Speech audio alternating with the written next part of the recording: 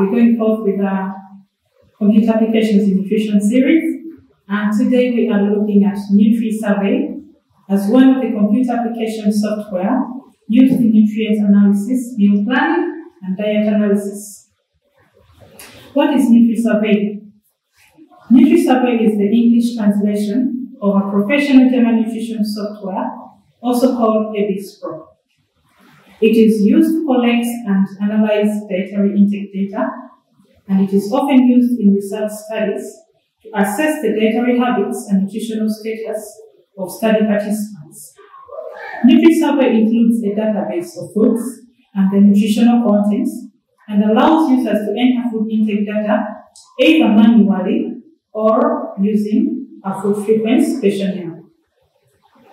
This software can generate reports on the nutritional intake of study participants, including the levels of various nutrients such as protein, fiber, vitamins, carbohydrates, fats, minerals, name them. All the nutrients that we'd like to analyze in the food items that you consume, you can get them in NutriSurvey. NutriSurvey can also be used to compare the dietary intake data to recommended nutrients intake levels. Furthermore, it can also identify any potential nutrient deficiencies or excesses. Now, what are the useful functions that are contained in NutriSurvey?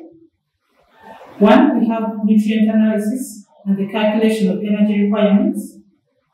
We have planning of diets, diet history, food frequency, searching of nutrients in foods, and the handling of recipes.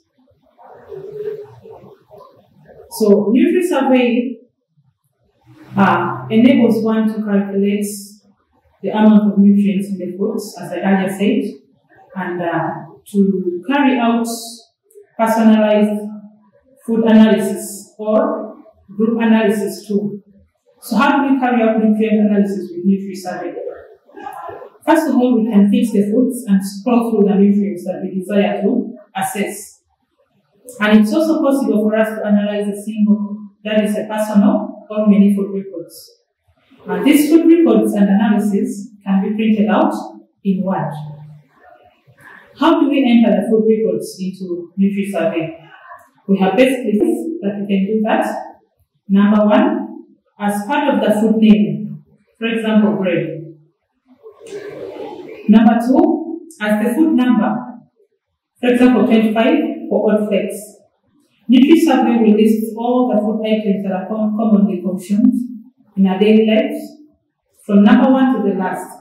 So instead of inserting the name of that food item, you can instead insert the number of that food item. For example, if oat flakes is number 25 in the survey on the list of the food items, then you can enter number 25 25 instead of entering oat flakes. So these numbers can be found in the number column of the food selection sheet. The third way is as the first characters of the food code. The food code is in the food selection sheet also. For example, if you want to identify vegetables, they are denoted by letter D. And if you want to identify blossom vegetables under the vegetables, then you can go to G3 and for you all the blossom vegetables.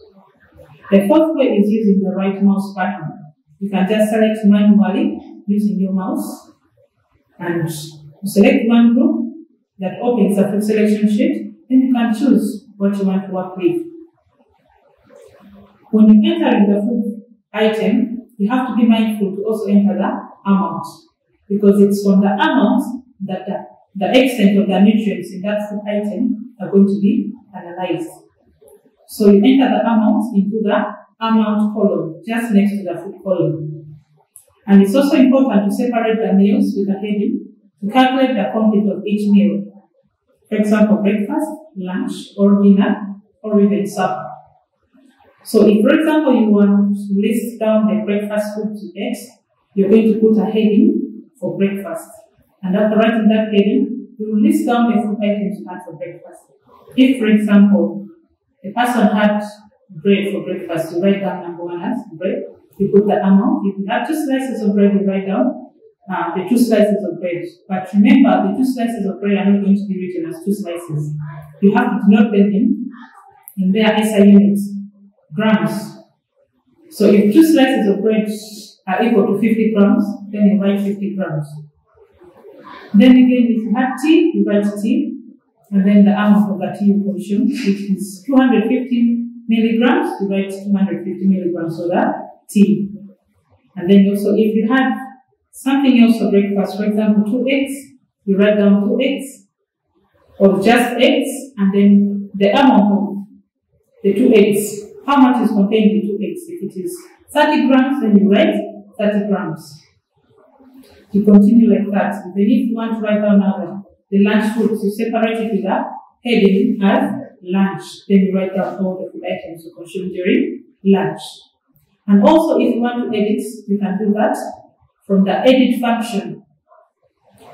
You can also multiply, modify the display of the right box, the nutrients analysis list, to decide the nutrients that you want to display. If you want to analyze the carbohydrate content or the fat content or protein content, you can select from the nutrient selection icon.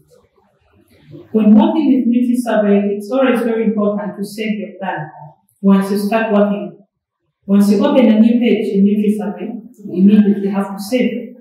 How will you save? It's just as you always save other files in Microsoft Word or Microsoft PowerPoint. You go to File, you click there, then you look for Save or Save As. Once you click Save As, then you write down the, the title of the analysis you're carrying out. If it is diet analysis or diet history for Kate, you write down diet history for Kate and you save. So to open your saved plan, you can still go to File, then you go to the Open icon, and then you you look for that file that you have saved. You click on it and it will automatically open. If you still want to open a new or blank file, you can use the File icon, you click File, then look for New, and the new blank page will appear. So this is basically how your windows appear the in NutriSurvey. And this is giving us an elaborate example of what I was talking about. Writing your heading for breakfast and listing down the breakfast foods. Going further, you write down a heading for lunch and list down the lunch foods that you consumed. So once you've finished entering your food items plus the amount, you just instruct NutriSurvey for the analysis that you want. You can analyze for the energy contents, the water content, proteins, fats, carbohydrates, as they are displayed on your right corner. All the things that you want to analyze will be reflected there. The total amount of vitamins that are contained in each of the food items that you ate will be displayed. And then you will choose what you want to explain or elaborate. So the analysis of the food reports in NutriSurvey is very simple. You can just pick a specific nutrient that you want to analyze. If you are only analyzing carbohydrates or energy level in the food items that you consume, you can still go ahead and only cut out that, analyze only for that, and then you output your results into Word or Excel. And then you can go further and explain why you complement with other nutrition analysis software. And in conclusion, NutriSurvey has been extensively used and is still being used for nutrient analysis and intakes in dietary assessments and recipe or diet planning. However, as you use NutriSurvey, you have to always be mindful of the version that you're working with because computer applications keep getting updated every now and then. So you have to look out for the latest version. Always use an up-to-date version to carry out your analysis because this up-to-date version will contain more items and more um, sheets for you to work with. If, for example, NutriSurvey 2010 had some food items that didn't have others, then the Survey of 2020 is going to have many more food items because every single day scientists and human beings realize new ways of survival and new food items that are consumed. So these food items can be inserted into the newer version of NutriSurvey. So that's why it's important to always work with a version that is up to date. Secondly, you have to always select the appropriate food database and recommendation regimes. And you have to complement this data with other databases or food composition tables for any context that is not provided for in the software. For example, NutriSurvey has mainly food items that are consumed by Americans. So what will you do as a South Sudanese? You want to analyze food items that are consumed in South Sudan.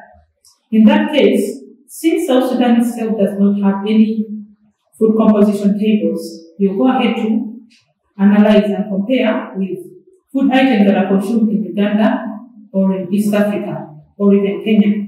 So you look out for food composition tables of Uganda or Kenya or Tanzania and you look out for the food items that are consumed there and here and you write down the analysis for that food item.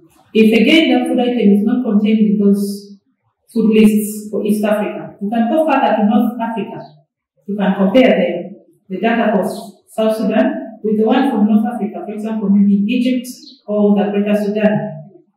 So that is why you have to always be flexible when you're using any of these applications. They are not accurate, they are not perfect, because nothing is perfect, of course, but you have to always find a way of working with it, making things easy as you complement with it other software. So that is basically what we have for NutriSurvey. I advise all of you to go ahead and do further practice because it is through practice that we become perfect. Go ahead and download this software. Look out for the latest version. And once you download it, start working. Collect some data or use the existing information, enter and analyze. Yes, thank you